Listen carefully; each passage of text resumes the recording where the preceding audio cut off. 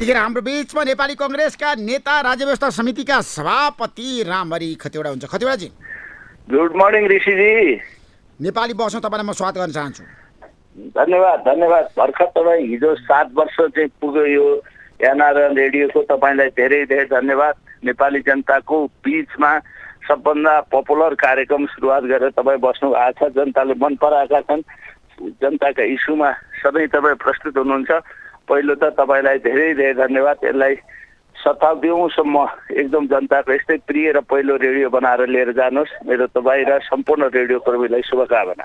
अब नेपाली रेडियो नेटवर्कको कुरा गर्दा हामी सात वर्षमा छौँ। सात वर्षमा हामीले के के गऱ्यौँ तपाईँलाई थाहा छ। तपाईँ त रेडियो सुन्ने मान्छे। रेडियोमा तपाईँ छ नि एकदम रमाउने मान्छे। आफ्नो कुरा राख्नको लागि होइन? नेपालका रेडियोहरूले गरेको कुरा रेडियोको भविष्यको कुरा अब त रेडियोको समस्याको कुरा पनि तपाईँलाई थाहा छ होइन? नेपाली रेडियो नेटवर्क आज हामी तिन सय रेडियोसँग सहकारी गरिरहेछौँ देशभरि। हो धेरै धेरै धेरै सबैसँग कनेक्सन गरेर जनतालाई सत्य तथ्य समाचार विषयवस्तुमा प्रवेश गराएर जनताका इस्युहरू समयमा चट्ट पुर्याइदिनुहुन्छ जनताले खोजेको जस्तो रेडियो भेट्टाएका छन्। सबैलाई म रेडियो कर्मी रेडियो सञ्चालक श्रोता सबैलाई धन्यवाद दिन चाहन्छु। वास्तवमै निष्पक्ष रूपमा जनताको बिचमा पुग्ने पहिलो रेडियो यो बनेको छ। फेरि पनि सबैलाई बधाई र धन्यवाद। अब तपाईँ आज काङ्ग्रेसको केन्द्रीय समितिको बैठकको बारेमा छ नि आफ्नो कुरा राखिरहँदाखेरि। शेरबहादुर देउवा र शेखर कोइरालाको बिचमा विवाद बढ्यो हिजो। एक आपसमा चर्का चर्की भयो। केन्द्रीय समितिमा यसको प्रभाव पर्छ पर्दैन। ऋषिजी यो सेन्ट्रल कमिटीको मिटिङ आज चल्दैछ। त्यहीभित्र पनि सबै कुराहरू राख्ने प्रचलन छ हाम्रो। धेरै पहिलादेखि मिटिङ नबसेकाले योभन्दा अगाडि अलि लामो समयसम्म मिटिङ भयो। झन्डै एक वर्ष नबसेकाले अहिले त हामी दुई महिनाका बिचमा बस्दैछौँ। केही कुराहरू छन्। दुइटै नेताको चाहना पार्टी कमजोर होस् र सङ्गठन झन् बिग्रोस् भन्ने छैन। न त शेरबहादेवाकै छ न त शेखर कोइरालाकै छ। यो पद्धति अनुसार यो बाटोबाट गए अझ राम्रो हुन्थ्यो भन्ने डाक्टर शेखर कोइराला लागेको होला। शेरबहादेवालाई यसरी अझ कसरी व्यवस्थित गरेर जाउँ भन्ने चिन्ता उहाँलाई पनि होला। शेरबहादेवा अब अन्तिम पार्टी सभापति हुनुहुन्छ। उहाँ फेरि सभापतिको क्यान्डिडेट हुनुहुन्न। आफू सभापति हुँदै पार्टी कमजोर भएको देख्न उहाँलाई पनि इच्छा छैन। पार्टी कमजोर हुँदै गयो भने भोलिको नेतृत्वमा आउने साथीहरूलाई पनि अवसर र चुनौतीहरू दुइटै छन्। यी अवसरहरू कसरी अझ सृजित गर्ने? नयाँ मान्छेहरू आएका छन् नयाँ जेनेरेसनहरू आएको छ। नयाँ सम्भावनाहरू बोकेका कामहरू हामीले पुरा गर्नुपर्ने छ देशमा अलिकता अस्थिरता अनिश्चितता पैदा भएको छ। जनताहरू निराशामा छन्। यसलाई कसरी आशामा बदल्ने भन्ने विषयमा छलफल हुनु कुनै अनौठो कुरा होइन र यसलाई पार्टीभित्रै हामी छलफल गरेर अगाडि बढाउँछौँ। आज सेन्ट्रल कमिटीमा आफ्ना कुराहरू स्पष्ट साथ राखिन्छ र पार्टीलाई दह्रो र बलियो बनाउन के गर्नुपर्छ तीबाट हामी सबै साथीहरूलाई एकीकृत भएर अगाडि लाने प्रयास गर्छौँ। होइन शेखर कोइरालाको भनाइ के छ भन्दाखेरि हिजो शेरबहादुर देउवालाई भेटेरै उहाँले भन्नुभएको छ। उहाँले धनराज गुरुङ र जीवन परियारलाई लिएरै गएर सँगै राखेर भन्नुभएको छ। अब तपाईँ नसचिने हो भने कहाँ नराख्ने? सँगै बस्नुहुन्छ उहाँहरू सँगै आज पनि सेन्ट्रल कमिटी सँगै बस्नुहुन्छ सँगै राखेर छलफल गर्नु शेखर कोइरालाको भनाइ के छ भने तपाईँ नसचिने भए अब सकार्य हुँदैन। म डाक्टर शेखर कोइरालाले त्यसै गरी प्रस्तुत हुनुभयो भन्ने होइन सभापतिले पनि केही कुराहरू सम्बोधन गरेर जानुपर्छ त्यसमा विवादै छैन। शेखर डाक्टर साहबले पनि उग्र रूपमा प्रस्तुत हुनुहुन्छ भन्ने मलाई लाग्दैन। मेच्योर राजनीति गर्ने मान्छे हो उहाँ। कसैका बारेमा उहाँ उग्र कुरा गरेर हिँड्नुहुन्न। पार्टी कमजोर होस् भनेर उहाँलेको पनि चाहना छैन। सभापति त झन् सबैलाई नै मिलाएर लिएर जान्छु भनिरहनु भएको छ। काम गर्दै जाँदाखेरि केही भातृ सङ्गठनहरूलाई जसरी जिम्मेवारी दिएर गाउँ गाउँ पुर्याउनु पर्ने हो त्यो अलिक कम भएको छ। तैपनि हामीले नेता खास गरी भन्यो भने शेरबहादुर देउवा र शेखर कोइरालाको बिचमा दूरी बढ्यो। यो दूरी बढ्नुको कारण के हो तपाईँलाई थाहा छ? मूल कारण? हामी दूरी घटाउँछौँ। आजैको मिटिङबाट यो दूरी घट्छ ऋषिजी। आज सेन्ट्रल कमिटीको मिटिङमा यो दूरी घट्छ। एकै ठाउँमा नेताहरूलाई राख्छौँ हामी। पार्टीलाई पनि एकीकृत र दह्रो बनाएर लान्छौँ। सबैका मागहरू कतिपय कुराहरू मैले अघि भने नि यसरी जाँदा पार्टी दह्रो होला भन्ने डाक्टर शेखरलाई लागेको छ। यसरी अझ दह्रो बनाउन मैले के गर्नुपर्छ भनेर सभापति पनि लागिरहनु भएको छ।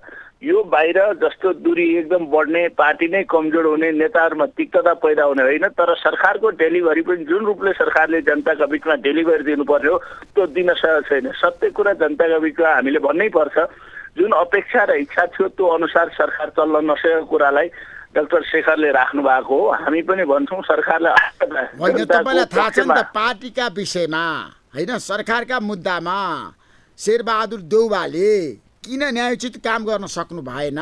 कोइरालाको आक्रोश छ। उहाँले पेले लिएर जानुभयो। मेरो कुरा सुन्नु भएन। मन्त्रीको सङ्ख्या बाँडफाँडमा पनि कोइराला समूहको नाम छ नि तिन माग थियो। तर शेखर कोइरालाको मागलाई सभापतिले व्यवस्था गरिदिनु भयो दुईवटा मात्र मन्त्रालय दिनुभयो।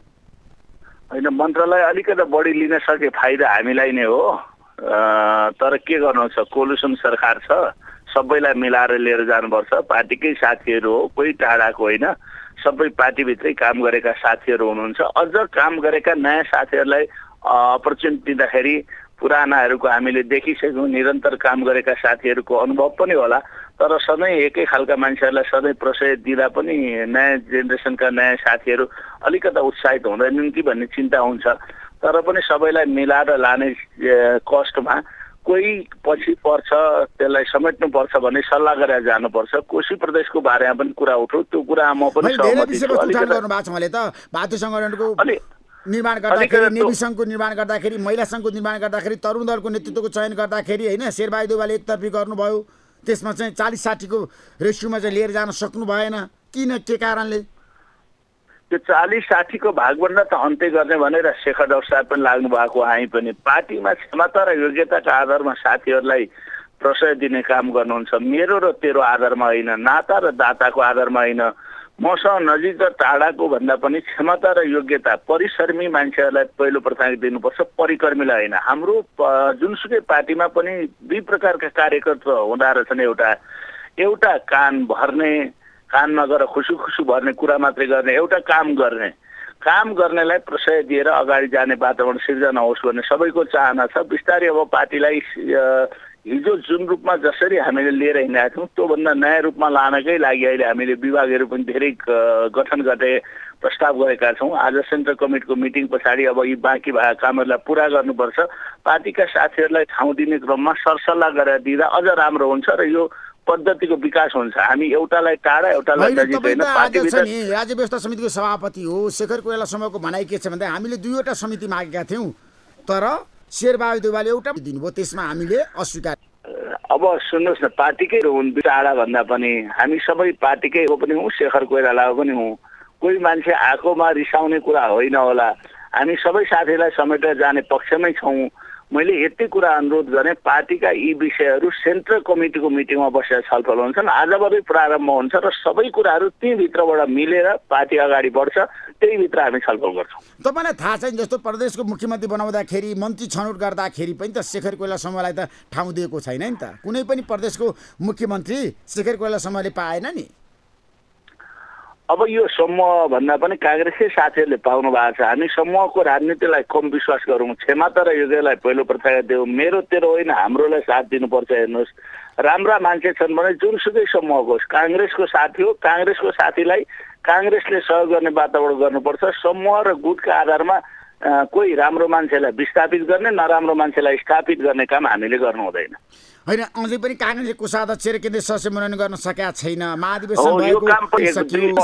मङ्सिरमा मङ्सिरमा झन्डै वर्ष हुन्छ भएको वर्ष दिनमा त्यसबाट त हामीले त धेरै कामहरू गर्नुपर्ने हुन्छ। अब त्यही भएर नै हामीले मा भारत तेह्र अधिवेशन बनाएका छौँ। अब पार्टीभित्र संस्थागत पद्धतिको विकास भयो भने त्यसमा जेनेरेसनलाई पनि हुन्छ पुराना नेताहरूलाई पनि हुन्छ। यो सिस्टममा गयो भनेको पछि सिस्टमको फाइदा सबैले लिन सक्छन्। त्यसैले अब आज सेन्ट्रल कमिटीको मिटिङ हुन्छ फेरि आगामी मङ्सिरमा महासमितिको मिटिङ हुन्छ महासमितिमा धेरै कुराहरू उठ्छन्। पार्टीलाई कसरी अझ सुधार गर्ने नीति कस्तो बनाउने नेतृत्वमा के के गर्नुपर्छ कमी कमजोरी के छन् तीभित्र छलफल हुन्छ अहिले आत्तिने बेला छैन। पार्टीलाई कमजोर बनाउने पक्षमा कोही नेताहरू हुनुहुन्न। एक आपसको सल्लाहलाई ठुलो विषयवस्तु बनाएर हामी पार्टी बिचमा रडाएको छ भन्ने देखाउन चाहन्छौँ त हुँदा पनि होइन। हामी पार्टीभित्रै छलफल गरेर सबै कुरा व्यवस्थित गरेर जान शेखर कोइराला पनि तयार हुनुहुन्छ सभापतिज्यू पनि तयार हुनुहुन्छ। त्यसो भए जान अब शिक्षकहरू सडकमा छन् है। उनीहरूले विधेयकप्रति पूर्ण रूपमा असहमति व्यक्त गरेका छन्। विद्यालय बन्द गरेर देशभरिको शिक्षकहरू काठमाडौँ आउँदाखेरि तपाईँहरू के हेरेर बस्नु भएको छ? यो हेर्नुहोस् दुई हजार अठाइस साल पछाडि पहिलो पटक हामीले शिक्षा नियावली संशोधन गरेर सबैको सहजताका लागि यसलाई बनाउने कोसिस गरेका हौँ। कसैलाई शिक्षककै माग सम्बोधन गर्न सकिएन भने केही छैन तर यो सम्बोधन गर्ने पनि तरिका हुन्छ। यसलाई हामी वार्ताबाट समस्या समाधान गर्छौँ। अहिले धेरै कुराहरू बाँकी छ। संसदमा भ्रष्ट भर्खर प्रस्ताव भएको छ। यसलाई त्यसपछि बहत्तर घन्टा यसलाई संशोधन गर्ने अधिकार छ। कुन कुन कुराहरू मिले मिलेन त्यहाँ गर्छौँ। त्यसपछि फेरि समितिमा जान्छ। छ समितिमा पनि छलफल हुन्छ। त्यसपछि दफावार छलफलबाट मन्त्रीले धेरै कुराहरू सच्याउन सक्ने कुराहरू त्यहाँ सच्याउने वातावरण छ। अहिले यो चाहिँ सबै कुरा बेठिक भयो भन्ने होइन। हामी छलफल गरेर विशेष गरी शिक्षकहरूलाई नै प्राथमिकतामा राखेर ल्याउने कुरा हो यो। हामी अभिभावक शिक्षक विद्यार्थीलाई नै के गर्दा सहजता र सुविधा हुन्छ त्यो कुरामा पहल गर्ने वातावरण गर्नुपर्छ र राज्यले सम्बोधन गर्न सक्ने जति माग अहिलेको आर्थिक अवस्था हेरेर सबै कुरालाई सम्बोधन गर्न सक्ने अवस्थामा थाहा छैन रामरीजी। तपाईँले तपाईँकै जिल्लाको कुरा गर्न चाहन्छु ओखलढुङ्गाकै कुरा गर्न चाहन्छु शिक्षकहरूको पीडा छ क्या? उनीहरूले जाहिर खाएका छन् तलब बेलामा पाउँदैनन् सुन्नुहोस् है। उनीहरू आठ सयमा तपाईँलाई थाहा छ उनीहरूले काम गरेको विगतदेखि वर्तमानसम्म सुन्नुहोस् है। उनीहरूले कति तलबमा काम गरेका छन्? आठ हजार दस हजार बाह्र हजार पन्ध्र हजारमा काम गर्नु परेको छ। ऋषिजी यही कुरा थाहा पाएर त संशोधन गरेर ल्याउनुपर्छ र शिक्षकको माग अनुसार हुनु अस्थायीको बारेमा बोल्नुपर्छ राहतको बारेमा बोल्नुपर्छ घर पाए घर पाए कसरी गराउने अरू निजामती सेवा र यिनीहरूले सुविधा कसरी पाउने पढाउनु पर्छ बिहानदेखि पढाइको स्तरलाई कसरी उन्नति गर्ने यी सबै विषयमा छलफल हुनुपर्छ र शिक्षाको शिक्षकको माग अनुसार विधेयक आउनुपर्छ भन्ने पक्षमा हामी छौँ। शिक्षकलाई फेरि पनि अनुरोध गरेँ यो चाहिँ तपाईँको आन्दोलन गर्न तपाईँहरूलाई नगर्नुहोस् भन्ने होइन। हामीले दिएको सुविधाहरू शान्तिपूर्ण भेटघाट गर्ने जमघट हुने आफ्ना कुरा राख्ने अधिकार संविधानमै व्यवस्था गरेको छ। तर वार्ताबाट समस्या समाधान हुन्छ सबै वार्तामा बसौँ यी कुरा सरकारले मिलाउन सक्ने कुरा सबै मिलाउँछ। विशेष गरी शिक्षकको मागलाई सम्बोधन गर्ने कुरामा सरकार केन्द्रित भएर लाग्नुपर्छ। होइन शिक्षक महासङ्घले त स्पष्टमा भनिसक्यो हामी वार्ता गर्दैनौँ वर्तमान सरकारसँग कस्तो हेर्नु संसारमा कस्ता कस्ता युद्धहरू समाधान गर्नु त वार्ता गर्नुपर्छ। यहाँ अहिले सबै कुरा बिग्रेको छैन नि। हामीले सबै कुरा पास गरेर यो गऱ्यौँ भनेका छौँ न। यो धेरै छलफलको विषय हुँदैछ। मैले अघि नै भने संशोधन गर्ने ठाउँहरू छन् यसलाई। नीतिगत रूपमा। यो चाहिँ तपाईँको अहिले भर्खर संसदमा प्रस्ताव छ। भर्खर त्यसपछिबाट बहत्तर घन्टा त्यसपछिबाट यसलाई संशोधन गर्नका लागि दिइन्छ। मान्यज्यूहरूले त्यो संशोधन प्रस्ताव उहाँहरूले ल्याउनु भएका प्रस्तावहरू हामी राख्छौँ। त्यसलाई समितिबाट छलफल गरेर अनि विधेयक बनाएर अनि कानुन बनाएर लाने हो नि। अत्तालिनु पर्दैन। हामी शिक्षकका मागलाई शिक्षकको सुविधा अनुसार कसरी प्रयोग गर्न सकिन्छ त्यसमा अगाडि बढाउन हामी सरकारलाई पनि अनुरोध गर्छौँ र हामी तयार छौँ भनेर विश्वास पनि दिलाउँछौँ। होइन स्थानीय तलाई शिक्षकको रेखदेख र निगमन गर्ने अधिकार दिँदा जनप्रतिनिधिबाट छ नि मनोमानी हुने शिक्षक महासङ्घको ठहर र निष्कर्ष र भनाइ छ।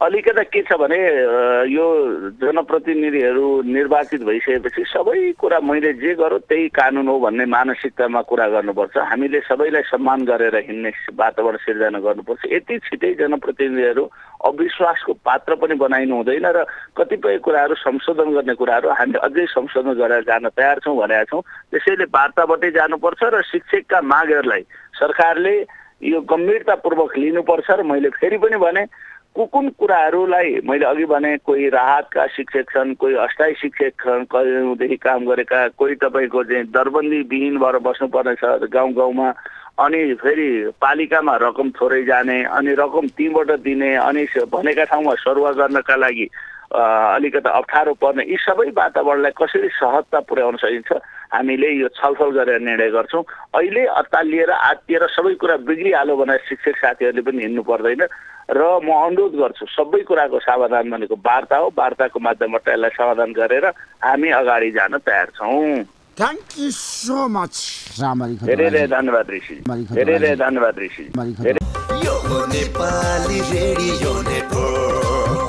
यो नेपाल रेडियो।